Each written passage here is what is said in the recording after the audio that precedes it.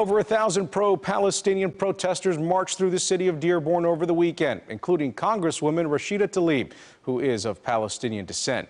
Palestinian supporters and Democratic lawmakers have criticized President Biden's support of the Israeli government in the Gaza airstrikes.